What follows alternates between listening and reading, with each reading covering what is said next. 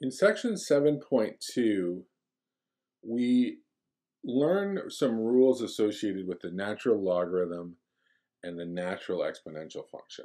So e to the x and ln x. These rules come in the form of both derivative rules and antiderivative rules. Okay, so we're given both in this section. Um, this chapter in general expands our set of functions for which we have rules, and it gets into particularly things like uh, logarithms, exponential functions, inverse trig functions. Okay, types of things that we haven't looked at prior to this point in the course. Um, so let's look at uh, an example of a derivative rule, and I've got a couple of um, examples with integrals, indefinite integrals. So this first one is asking for the derivative of e to the x times ln x. Um, and it's a product, so we need to use the product rule. And with all of this information in 7.2, we are combining these new rules with all the rules that we had previous to this point in the course. And that's been the story all along as we acquire these new rules, is that we're using them in combination with things that came before. So here we're using these two new derivative rules in combination with the product rule. And we could also, in other examples, use them with the chain rule or use them with the quotient rule uh, or any of the other things that we've learned about.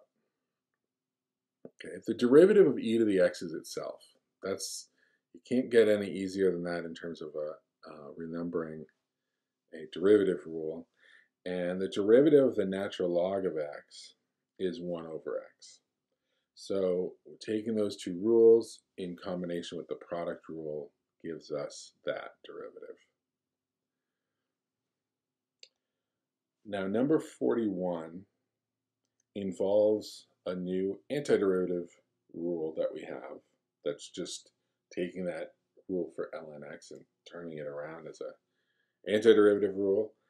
Um, we also have to use the substitution rule uh, in order to make this work. So if we substitute for the denominator u equals x minus 10, then du would equal dx.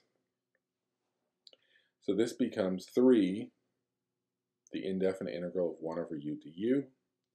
And the rule for 1 over u du is that that becomes the natural log of the absolute value of u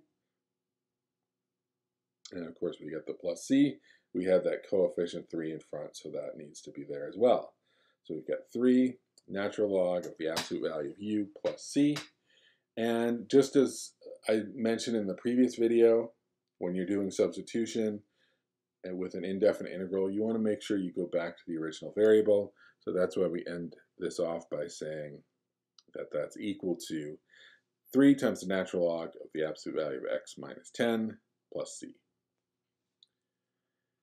52 over here is another indefinite integral, and this involves the other antiderivative rule or derivative rules, you know, however you want to look at it, uh, that was introduced in this section, the one for e to the x. Now, we I said earlier in this video that e to the x is its own derivative. Well, the anti the family of antiderivatives of e to the x is e to the x plus c.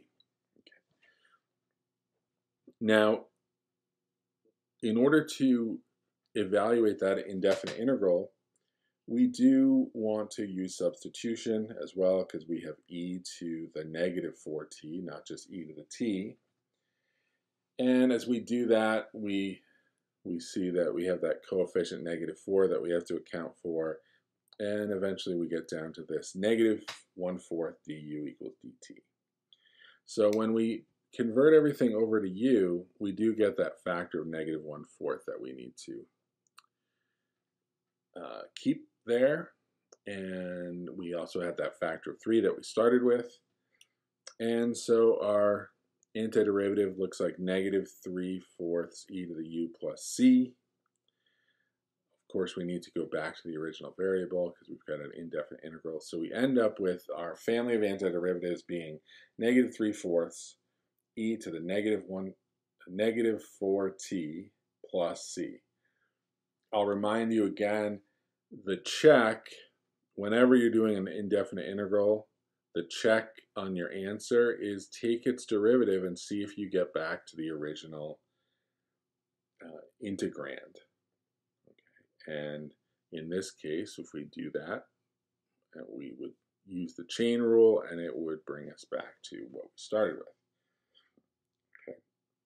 This substitution rule, by the way, that we're seeing here and here and that we first were introduced to in 5.5 really is the antiderivative version or sort of the reverse of the chain rule.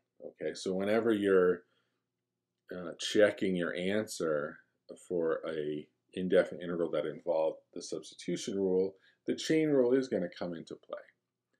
Uh, I hope you found this video helpful. Uh, I will see you in the next video.